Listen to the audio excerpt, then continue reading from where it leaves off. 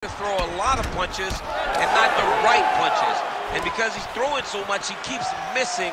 And by doing that, he's missing chances to end this fight. Keep those punches going. You're landing. You're landing. Watch for him to set up that hook again now. Huge block there. Oh, there it is. Can't say we didn't see it coming, but nicely executed there nonetheless. And defensively, leaving a lot to be desired with this approach. Big knee there.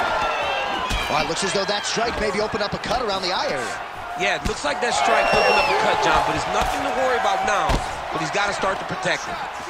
And they separate after exiting the clinch. And that's, that's the danger in the engagement there. Round two coming up next. All right, so there's the end of the round. You see the blood trickling down as he makes his way back to the stool. All right, well, one minute of enswell can only do so much. You ready to fight? Ready. Here we are, early round two. Nice body kick. Until you stop it, I'm going to keep kicking you. Body kick after body kick. Can't take many of those, you better check. Well, the jab counter came. Perhaps it was telegraphed a little. Oh, that's a total top, and now his opponent in a world of trouble.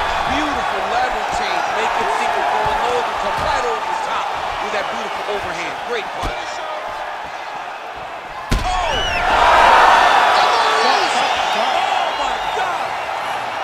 I mean, you got to be kidding me with that knockout. If that is not the number one play on SportsCenter tonight, I'm not sure what would top it. One of the best knockouts we've seen all year. in a very long time. I have not seen someone look this good. He promised us something, and he delivered with that beautiful knockout.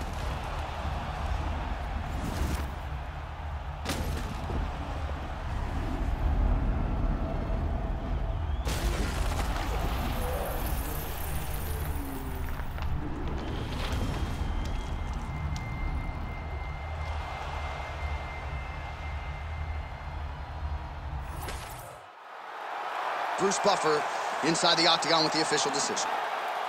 Ladies and gentlemen, referee Herb Dean has called a stop to this contest at 56 seconds of round number two, declaring the winner by knockout, Stipe Miocic.